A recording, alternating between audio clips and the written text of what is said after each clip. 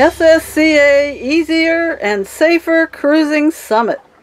Hey everyone, here we are at episode 10. Hope you've been enjoying the whole series.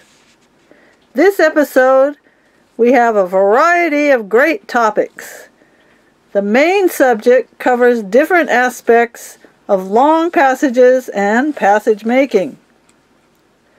Discover whether getting extra crew members for making long passages is the right thing for you. Learn the old Danish saying about sailing passages.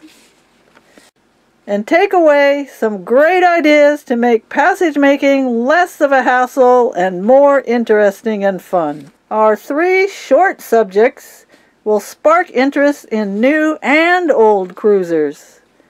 1. What makes a boat seaworthy? 2. Are catamarans a good choice for long distance cruising? And last but not least, to SSB or not to SSB? We wind up our episode with two quickie tips. Stick with us, and you may discover two more great ideas to use for yourself.